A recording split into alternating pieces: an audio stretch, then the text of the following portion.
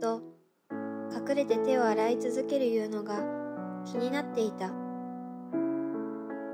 大丈夫？あー大丈夫大丈夫。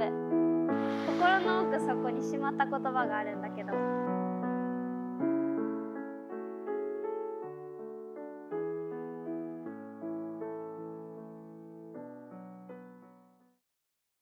ねえ誰か。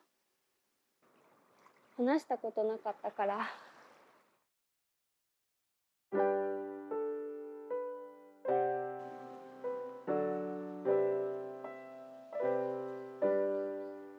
誰も知らない。私の毎日。悠々の君へ